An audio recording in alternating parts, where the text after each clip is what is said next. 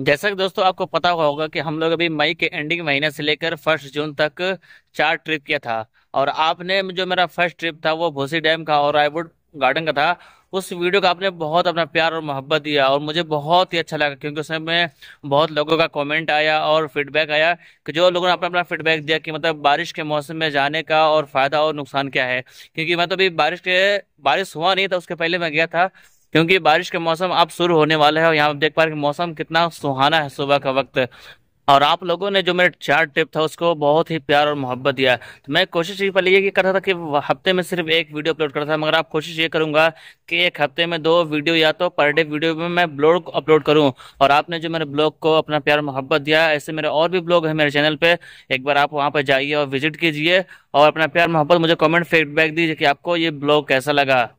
तो finally guys हम लोग का चार ट्रिप पूरे तरीके से कंप्लीट हो चुका है। तो आप अगर हमारे चैनल में नए हैं तो चैनल को लाइक शेयर एंड सब्सक्राइब ज़रूर कीजिए। और आप इस चैनल में बने रहिए, क्योंकि बहुत ही जल्द आपको माथेरन का वीडियो मिलने वाला है, जहाँ पर आपको टॉय का टॉय ट्रेन हो गया, और भी जो चीज़ें घूमने हैं, वो माथेरन का बहुत ही फ़ेमस है, जो लोनावला पुणे में पड़ता है। अगर ये आप यहाँ पर जाने पड़ते हैं तो आपको हमेशा टॉय ट्रेन का ही सफ़र करना पड़ेगा।